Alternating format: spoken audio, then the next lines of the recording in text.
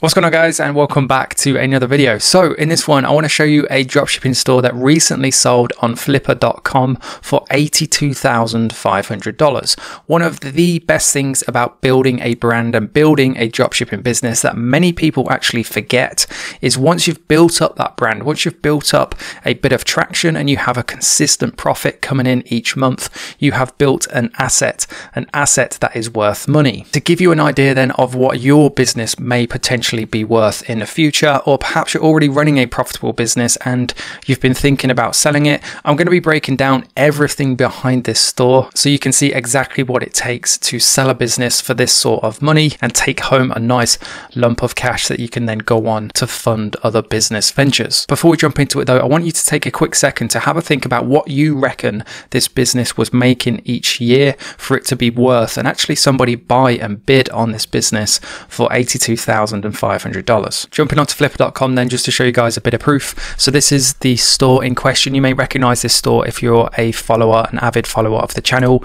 It's called Miracle Sofa. It was sold by public auction and there was indeed only one bid and that bid was for $82,500. Let's jump onto the original listing then. This was actually the listing I reviewed um, quite a few months ago now, just taking you through their best selling products, showing you the store, that sort of thing. So I'm going to recap it and just show you essentially all of the numbers, their best selling products, how they're selling those products. So you can see exactly what goes into a business that recently sold for over 80 grand. So Miracle Sofa is an e-commerce website focused on selling sofa covers to top tier English speaking countries. So this will be things like the UK, US, Canada, Australia, New Zealand. They're kind of like the big five. It's been doing it since 2019. So the business is only three years old. I say only three years old because that's still a young age for a business. And now you might be thinking 80 grand and only six grand profit per month isn't very impressive for a three year old business. But if you could tell me any job out there that would give you that sort of pay rise in three years, then I don't think you'll be able to do that.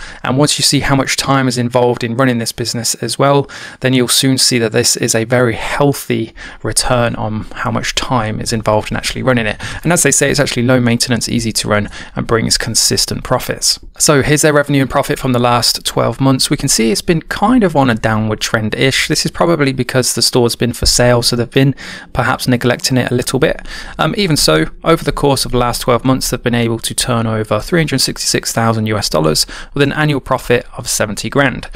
Jumping back up, then what I want to find and show you now is the operations. So this should take two hours per week for the new owner. So as you can see, only two hours per week, um, 15 minutes per week meeting with the team. So you're talking less than three hours a week to run a business, which is bringing home 70 grand. So not a bad return at all um, on your time investment. What is great to see about this business though is that sales are relatively consistent throughout the year. So it's not a pump and dump product. It's not a product that spikes massively in popularity for three months of the year and then is unheard of. As we can see, it's the sort of product that sells consistently throughout the year, which is a really good thing because it means you can rely on sales and you can rely on money coming through the door without having to scramble and find other products to kind of dip in and out if you're selling those sorts of things. We can see it's still an active business as well, so this is still a product. What you're about to see, what I'm about to show you, is still active and working. And with January of 2023, a turnover of 22 grand and $5,000 profit, and the last month featured is February because this is when the store was sold of a 12 grand turnover and a 2 grand profit. Let's jump into their primary expenses then because this reveals how they're making the money, and then we'll jump into the description and contextual information. So the cost of goods is 14 grand a month. That is to fulfill their orders. I suspect this will have been recorded during one of their bigger months.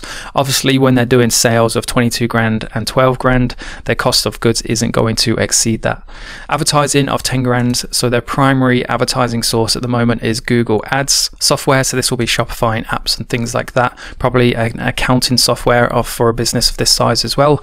Um, contractors. So that'll be people that's helping them process orders, customer service, that sort of thing, and of course transaction fees. So this will be processing fees for Shopify or for Stripe um, and PayPal if they're using it. But we'll see in a second when we take a look at their Shopify store. Okay, so the operations to deliver the product to the customer, the operations mainly involve order fulfillment and customer support. So this will be emails and it'll be placing orders with suppliers, or I imagine they're using a 3PL, so they'll just be sending a CSV file with all the customer information and what they've ordered, so they can process it that way. Um, and like they said here, should be no more than 15 minutes a week meeting with the team just to make sure everything is being taken care of. Like I mentioned, order fulfillment is a simple process. Um, it involves sending the orders to the supplier and then uploading tracking numbers to Shopify. This is done on a daily business, a daily basis, and handled by a part-time worker. Customer support is email-based and handled by a full-time worker. These will be VAs typically based in the Philippines or somewhere like that, um, where the cost of living is a lot lower. And as they say, in terms of marketing, the key things that need to be done on a regular basis are looking over the Google ads and sending out marketing emails to the list. This takes approximately two hours per week for the new owner. So, in my opinion, 80 grand is a pretty good price for this business because it's a little bit more than one year's profit. They have a tried and tested and proven concept. They know this is a product that sells and can be sold profitably using Google ads. So, with the right input and with the right skills, and you could even bring in an agency when your business is making this sort of money to take over things. And if you take away this two hours per week because you're having an agency take care of that, then you've pretty much got a fully automated business that's just going to keep bringing in money on a recurring basis for you. Let's take a look at some of their top channels then so we can see exactly where their customers and traffic are coming from. Um, number one is paid search. So this will be put in there um, website. Sorry, this will be putting their website at the top of a Google search when a customer is searching for Sofa Protector or something like that. They obviously have a pretty big email list, seeing as this is where their second biggest referrer is coming from.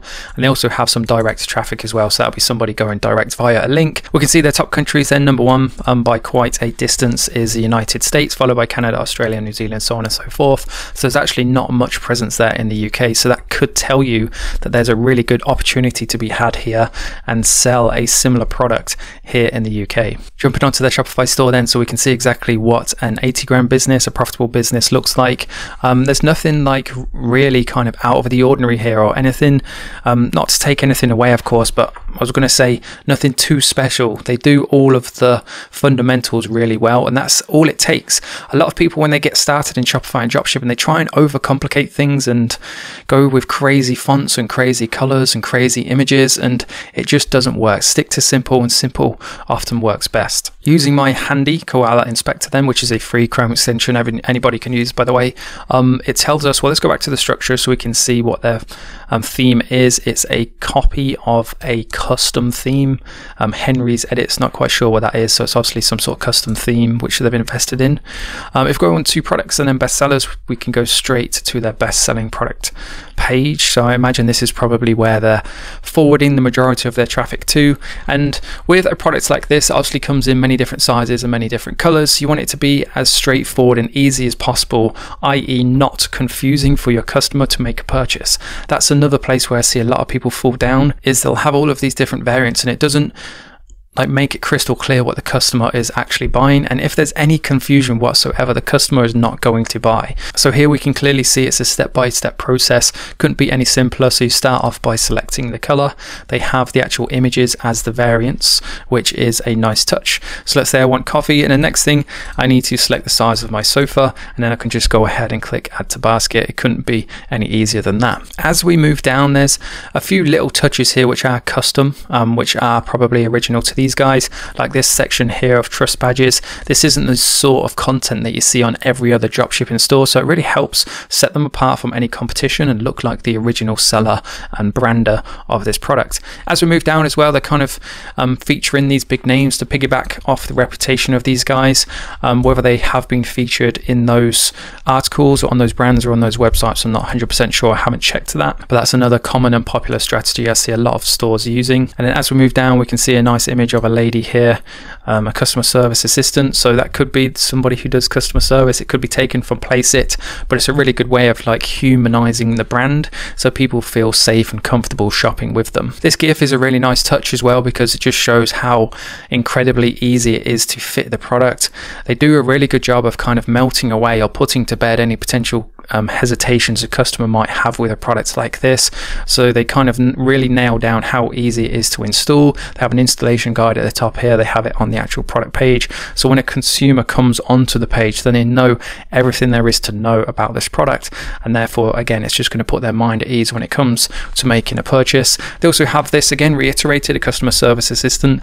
I'm going to hazard a guess here and say he's not doing the customer service, but you never know at the end of the day. Free worldwide shipping, 7 to 22 business days. So that pretty much confirms that they're drop shipping the fact that it's not faster than that.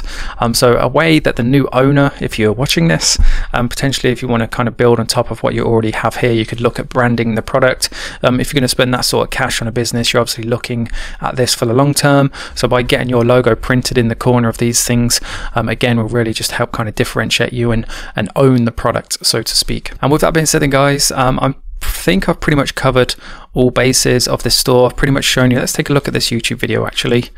Uh, so they have boxes here which are branded with Miracle Sofa. And they have a lorry with Miracle Sofa on. And they have this big office with Miracle Sofa, vans with Miracle Sofa. I'm going to hazard a guess. I mean, I've got stores that make a lot more money than this, and I don't have big offices and vans and things transporting my products. So I'm going to hazard a guess that they've, it's one of those, um, what's the word I'm looking for? Like mock ups where you just upload your logo and then it puts it on the side of things for you. But let me know what your thoughts are. Do you think they really have offices of this size and these vehicles delivering them? Probably not. And so, with that being said, guys, that pretty much wraps up the video. Hope you found it interesting. Hope you've stuck with me. Anything I can help you with, by the way, or any questions on anything whatsoever, just post it down below. I read every single one, so I will see it and I will get back to you. Um, if you want some help getting started and starting your own profitable business, make sure you check out my free training. I recently updated it and it's absolutely awesome, if I may say so. It literally covers every single step you need to take to start your very own business. To watch that, it's 100% free. Just check out the top link in the video description down below. Thanks for watching, guys. I'll see you in the next video on Friday. Cheers.